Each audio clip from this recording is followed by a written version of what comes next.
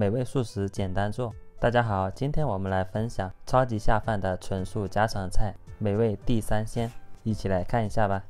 茄子一根，洗干净以后滚刀切成小块，然后加入一大勺红薯淀粉，均匀的抓在茄子的表面，让茄子表面都沾上薄薄的一层淀粉。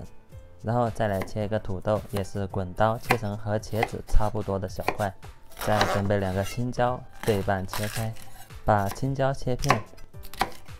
最后我们再切一点姜末备用。取一个空碗，调个料汁：两勺生抽，一勺素蚝油，一勺松茸调味料，再加小半勺白糖，半碗清水，搅拌均匀，放在一旁备用。锅中稍微多放一点油，我们先把土豆放进来炸一下，炸到土豆的边缘像这样有一点金黄就可以了。先捞出沥干油分，接着我们把茄子也放进来炸一下，把茄子也是炸到表面酥脆，有点金黄，捞出沥干油分备用。最后我们把青椒也放进来过一下油，不需要太久，大概十秒钟就可以捞出来。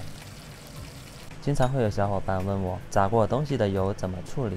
我一般都是会把油直接过滤一遍，过滤出来的油拿来炒菜，尽量三到五天内把它吃完。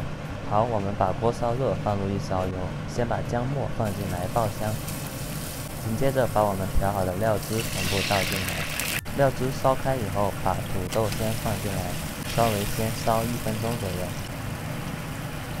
然后再把我们的茄子还有辣椒都放进来，一起翻炒均匀。这时候可以尝一下味道，如果不够的话，可以再添一点盐。味道差不多，我们就可以关火。这道简单美味、超下饭的家常菜——纯素地三鲜就做好了。茄子非常的软糯鲜香，土豆也非常的入味。